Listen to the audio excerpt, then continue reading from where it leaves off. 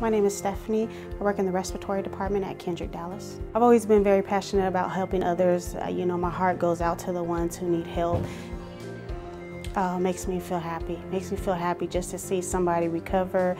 Makes you feel excited, your heart, you know, because not thinking that this person may not ever walk again or talk again, for you to see them walking in the building and talking and being able to hug you just makes you feel good.